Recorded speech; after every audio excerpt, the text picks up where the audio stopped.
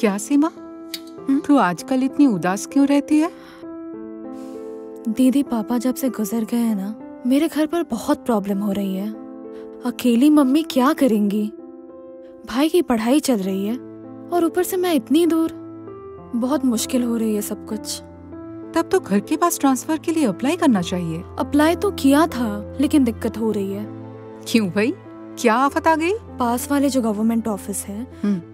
उसमें तबादले के लिए मैंने अप्लाई किया था। लेकिन अफसर लोग मुझसे पैसे मांग रहे हैं। और ढाई लाख रुपए मैं कहाँ से दूँ? ढाई लाख? रिश्वत की आदत कहाँ से कहाँ ली जा रही है यार? आओ तरुण बैठो। क्या चल रहा है? तुम लोग इतना सीरियस क्यों? हो एक्चुअली तरुण सीमा ने अपने होम टाउन के पास ट्रांसफ़र के लिए अर्जी दी थी। हम्म? लेकिन तुम्हें पता है ना अपने डिपार्टमेंट में कैसे मगरमच्छ बैठे हुए हैं? सीमा तुम तो इसके बारे में कंप्लेन कर सकती हो। कैसे? जब सबको पता चल जाएगा तब मेरे साथ क्या हो सकता है? तुम जानते हो ना तरुण? सुनो मैं समझाता हूँ।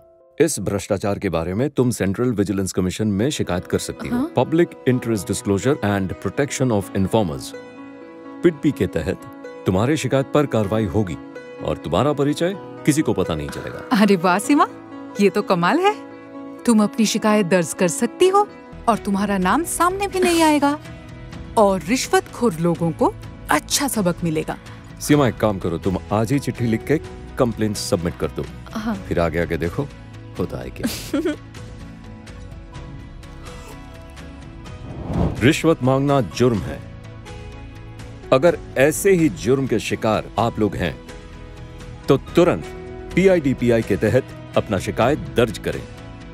लिफाफे के ऊपर पीआईडीपीआई लिखना न भूलें और अपनी शिकायत सेक्रेटरी सेंट्रल विजिलेंस कमीशन को एड्रेस करें। अधिक जानकारी के लिए www.cvc.gov.in पर लॉगिन कर सकते हैं।